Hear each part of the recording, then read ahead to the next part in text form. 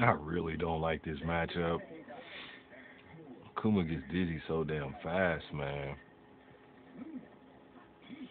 Feel like it's easier to fight Yun than it is Yang.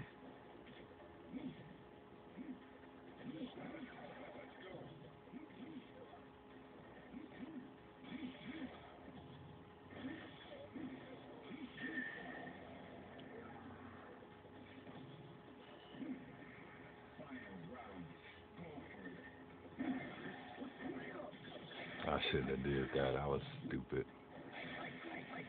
Block Cameron.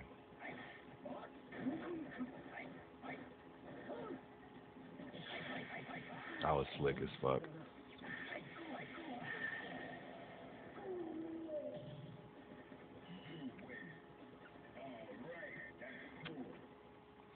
That was really good shit, Frankie.